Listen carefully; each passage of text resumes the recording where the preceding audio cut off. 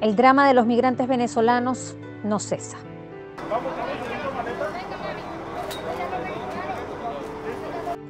A la ya complicada realidad de llegar a un país ajeno se suma la emergencia sanitaria y económica generadas por el coronavirus.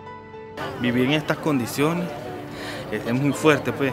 Muchos sobreviven al hambre y el desempleo, incluso a los riesgos de la calle. De un momento a otro nos echaron como unos perros, bueno, algunos ni siquiera pudieron hasta recoger su ropa, sus cosas personales y, y sin dinero a la calle. Empezaron a votar personal y nos quedamos sin empleo. Quieren regresar a Venezuela. No, no queremos que nos den comida, que nos den plata, solo que nos dejen ir a nuestro país, a nuestra casa. Aquí tenemos niños pequeños, no tenemos mucha comida. Y es bastante difícil esta situación para nosotros volver a nuestro país como que, como que sin nada. Acá como nos ve, estamos en la calle, no tenemos nada, no tenemos trabajo. En cambio allá, pues con lo poquito que podamos trabajar, pero tenemos un techo seguro, estamos con la familia y no, no nos va a sacar nadie de, nuestro, de nuestra casa.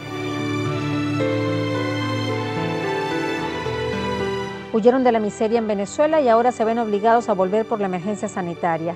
Y es que prefieren morir de hambre en casa que lejos de ella. Venimos asustados porque no sabemos si allá nos podemos encontrar con el coronavirus y esas cosas, esa situación, y no tenemos como quien dice la medicina totalmente como para combatir eso, porque en realidad ya en Venezuela no se consigue nada, no hay medicina, no hay comida, no hay nada.